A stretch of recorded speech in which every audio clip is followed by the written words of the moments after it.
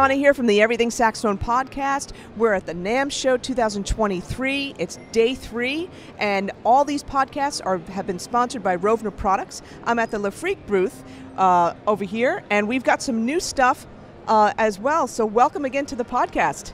Thank you. Nice to see you again. Nice to see you again Yeah. for sure. So, uh, let's talk about first of all people that did not see us. Oh my gosh, it was pre-pandemic, right? I think it was 20, Yeah, yeah, 2019. 2019. Oh my Yeah. God, four years ago. That's so. That's Hans. That's incre- that's that's insane. All right, can you talk to us about the Freak uh, for those that did not watch that other video first, and then we're going to talk about the new thing that you Sure, have. sure. So we make a sound bridge for wind instruments, so brass and woodwinds, so saxophones. I'm a saxophone player. I designed it for saxophone because I needed to play a crazy nice piece but with a lot of altissimo together with mallets. And the altissimo always yeah, wants to be too sharp and I needed to get that fixed. So I looked at my instrument and I thought, okay, the energy of my tone needs to travel in the material of my instrument.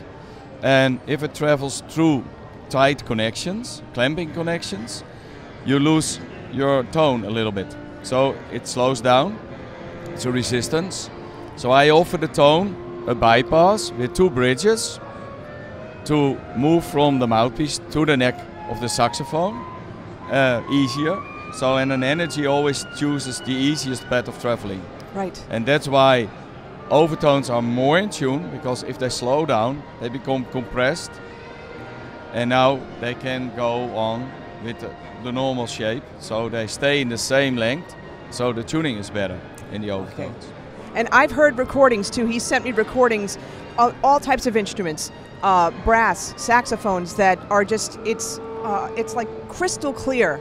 It um, the overtones are ringing so much that it's crystal clear. It's incredible, actually. Yeah, thank you.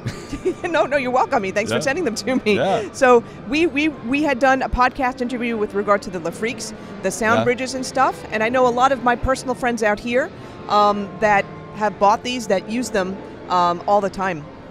yeah. Cool. That's All right. Yeah. Now you have something new that you, you Yeah. found me on the floor that you want to talk to us about. Yes. So the sound bridge works so well because it's two plates and the underplate is put on the instrument, attached on the instrument, on a way that the underplate is free to resonate. So I was thinking during playing, during COVID, and I was thinking, wow, why am I clamping my reed on my saxophone mouthpiece if it's maybe also possible to attach it like a Le is attached on the instrument?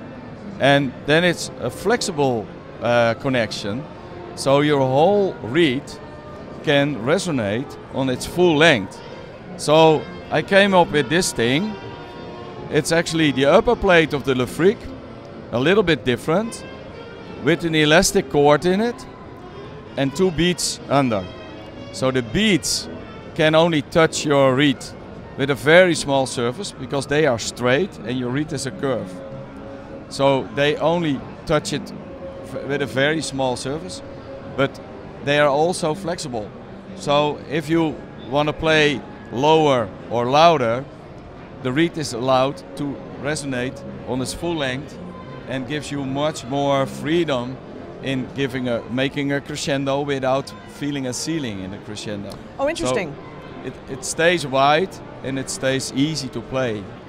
And Interesting. what always is what I found out myself always, if if I put my saxophone away and I play a cane reed still, but if I put my saxophone away, the reed gets dry again. But if it's if you play, it gets bigger, so it absorbs. But with a clamping ligature, the reed cannot go anywhere. So it, it's disturbing the shape of the reed.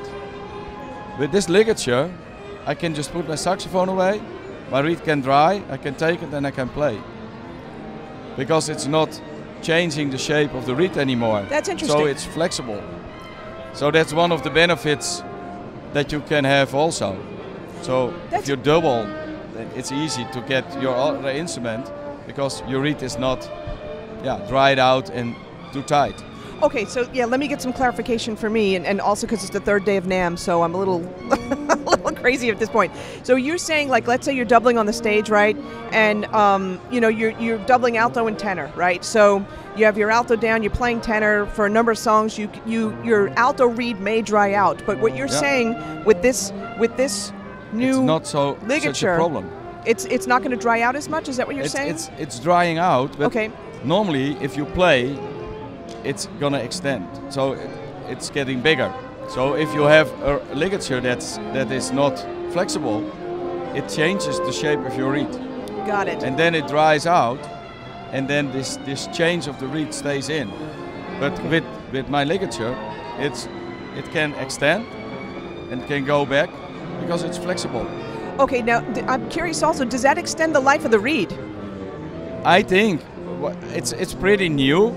So we launched it actually at NAMM for official, but in Germany we did it last two weeks ago Okay. at Nuremberg show, and we have a lot of players, and including myself. I can play on much more reeds now. That's interesting, I guess, because it can account for it can account for a lot of um, uh, I don't want to say errors, but you know, a lot of a lot of things that can happen with reeds. Like not every reed works in the box, but maybe what you're saying, if I'm right, what you're saying with this ligature, this can account for some of those reeds in the box that don't usually work right away. Or am I wrong? Yeah, That's interesting. it- That's it- pretty it- cool. I, I really took a lot of reeds and I put them on. And normally with a normal ligature, I have oh no, this one is some didn't even work. And now I can just play actually on on all my reeds. That's awesome. Now, can you show this? I'll, I'll hold this. Can you show this on your on your saxophone? So now I have the ligature on, so it's attached, and you see that it's only touching the reed with a very small surface, very small points. And then what I think is also nice, there's no big ligature here, so that I can I have space now to put the the Oh, sound right, bridge right. direct from the reed, and then you take the first place where you produce your sound, take it over directly to the neck of your instrument, and that Right. makes it even more direct, more clear, and easier to play. Got it. Okay, cool. And now you know, um, I'm curious too. We've got the two beads here, let's say, right? So can these? Can you move these? Can you move like the the um? You can see. put them on the side if you like. You could you could even maybe put one on each side. You could also Yeah. could you also change the the uh, the The- distance? yeah, yeah, the distance. Yeah, And it and all changes a little bit. got it. I prefer to put it always on the reed. Okay, right, right, because right, the- for sure. The elastic band dampens a little bit again. Got it. I don't want to dampen my reed. I want to have the full range of frequencies, and I want to use them. Okay, now here's the other question too. So like you're using the bridge, sound bridge, obviously too. If someone wasn't using the sound bridge, they should they could also change the placement of the ligature. They could place it lower. They could place it higher. yeah, yeah, right? sure. Yeah, yeah, yeah. Absolutely. And it, and this this is for alto. Like there are definitely two different sizes. One for, or at least more than that. I think you've got I, alto, I tenor. came up with the idea to just make four sizes.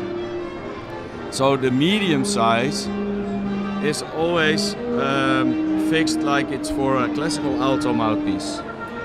But if rubber. you want to have it smaller, because you have a jazz mouthpiece that is a little less big, you can adjust it very, very simple by adjust the, the oh sorry by adjust um, the elastic band and if you adjust it you can make it a little tighter for a, a jazz mouthpiece or something That's and cool. actually if you say I, I forgot my tenor mouthpiece or tenor ligature you can also adjust it that it's big enough for tenor and then the the large one is normally for tenor but you can make it larger to go to the bari but you Okay. can also make it smaller to put it on a jazz mouthpiece so it's Okay, cool. actually yeah you can adjust it for different yeah op- options There's a lot of, and actually we were talking about the word freedom before. There's a lot more freedom when you think about it. It's not just it's not just freedom of placing.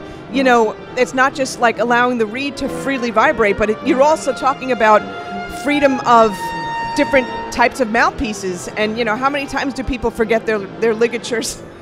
yeah it happens i can tell you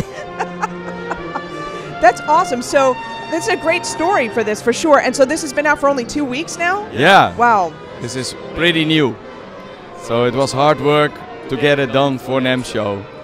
So and I, I'm happy that uh, that that we were in time for NAMM show to launch it and to tell the world about it. And then what's the website?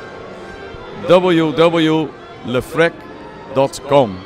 Awesome. So around end of May, June-ish or so, definitely look for this. And you can see the big picture in the background as well, right there, and right there too. That's great. Perfect.